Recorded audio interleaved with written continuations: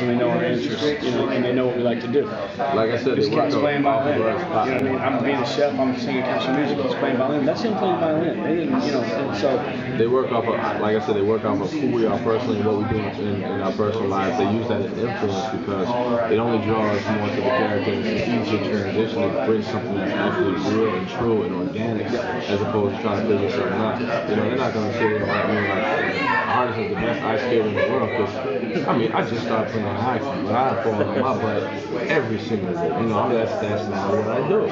Um, and, and they just allow us to be who we are in these characters and use it to the best of their ability. I think that's where the brilliance comes in their writing because they, they understand who we are. that's the beauty of being in season three. is They know us now.